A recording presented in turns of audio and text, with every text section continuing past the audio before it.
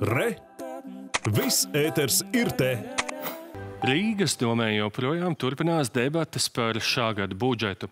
Pašvaldības vadība apgalvo, ka jaunais budžets ļaus rīdzniekiem justies drošāk un noturīgāk laikā, kad strauji aug energoresursu cenas un komunālo pakalpojumu rēķini. Turpretim opozīcija jaunajā budžetā vērš uzmanību vēsturiski lielākajam izdevumu pārsvaram pār ienākumiem. Turpina Ģirds Virbuls.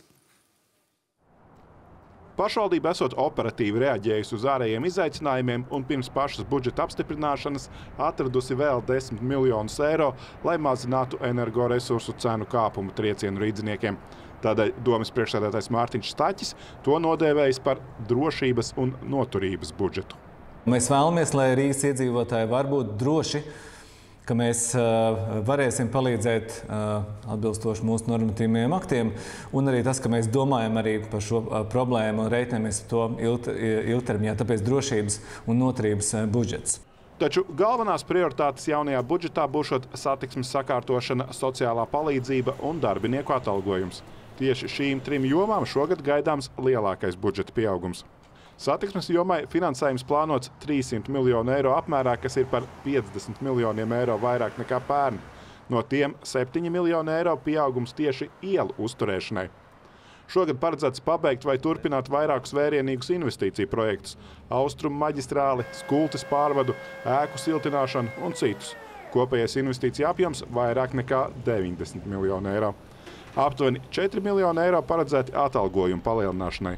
Mērs uzsver, šeit runa ir par skolotājiem, mediķiem, bāriņtiesu darbiniekiem, pašvaldības policistiem un nevis par domas vadību vai deputātiem. Tas, kas mainīsies 1. jūlijā, tas neietekmēs ne domas priekšādātāju, ne domas deputātu atalgojumus. Tad mēs uh, to skatīsimies tikai 2023. gada kontekstā. Mēs 2022. gadā vienkārši to nevaram atļauties. Kopumā Rīgas ieņēmumi šogad paredzēti nepilnu 996 miljonu eiro apmērā, bet izdevumi 1,15 miljārdu eiro apmērā. Tātad izdevumi par 160 miljoniem eiro pārsniegs ieņēmums. Opozīcijas pārstāvis tas dara bažīgus. Ja mēs paskatāmies no skaitļiem, vai var nosaukt eh, par drošības budžetu, budžets, kuru izdevumi ir vēsturiski lielā, ar lielāko pārsniegumu nekā ieņēmumu. Protams, ka tiek operēts ar to, ka iepriekšējā gada atlikumi ir diezgan ievērojami. Bet ko, par ko tas norāda? Tas norāda, ka ļoti daudz lietas, kas tika budžetā iestrādāts, vienkārši netiek izpildīts. Domas vadība gan mierina, ka šo starpību lielā mērā varēšot sekt ar iepriekšējā gada budžeta atlikumu, kas pārsniedz 150 miljonus eiro. Girts Zvirbuls, Ivo Žepickis, Latvijas televīzija.